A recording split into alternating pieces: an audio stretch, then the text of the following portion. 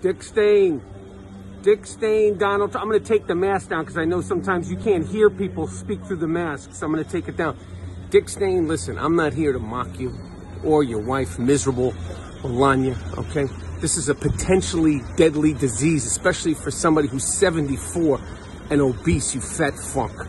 Okay, but I'm not worried. I am not worried about you, Dick Stain, Donald Trump, because, uh, like you said, like you said, uh, you know, it, it affects uh, virtually nobody.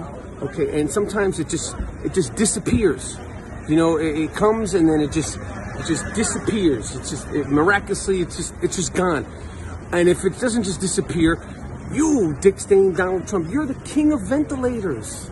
I'm sure you got that fucking White House hooked up to the nine with ventilate. Oh wait, we don't need ventilators anymore. But you're the king of ventilators. Just in case you need a ventilator, I'm sure they'll put a presidential stamp on a ventilator for you.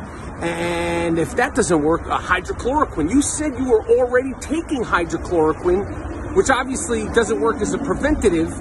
Uh, but maybe it'll work now. I don't know how that stuff works. There was a doctor from Cameroon, the loon from Cameroon, who, said that she was treating many, many, many, many, many patients with hydrochloroquine.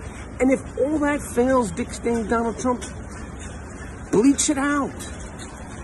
Bleach it the fuck out. You inject the bleach. Good to see you. You inject the bleach into your skin, like under, uh, like a, like a, you know, and then you go into some warm light, maybe a tanning bed. I'm sure you got a tanning bed at the uh, at the White House. You and Milan, you look like you're always tanned. Uh, uh, you inject some some bleach into the skin, and and uh, uh, you go into a tanning bed. Anyway, I'm wishing you well, and I'm just being sarcastic. I'm just being sarcastic. Get well soon, Dick Stain, you fuck.